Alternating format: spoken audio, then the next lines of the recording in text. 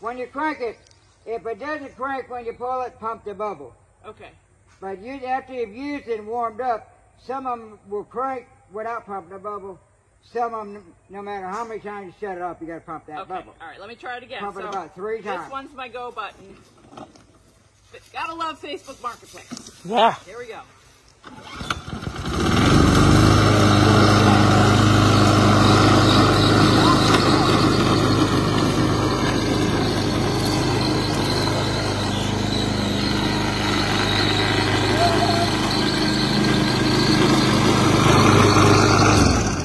The self in the back, so when you pick it up in the front, you you ain't stopping. That's why you're going so fast.